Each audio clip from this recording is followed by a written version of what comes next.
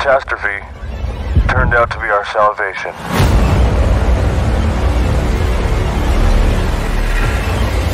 The new history of mankind begins here.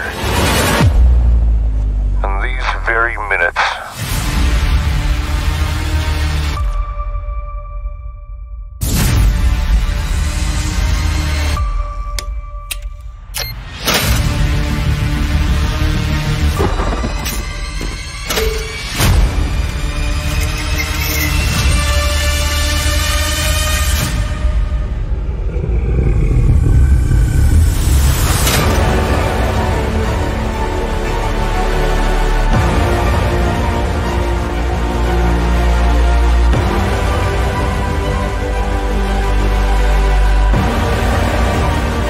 The earth was sightless and empty, and the darkness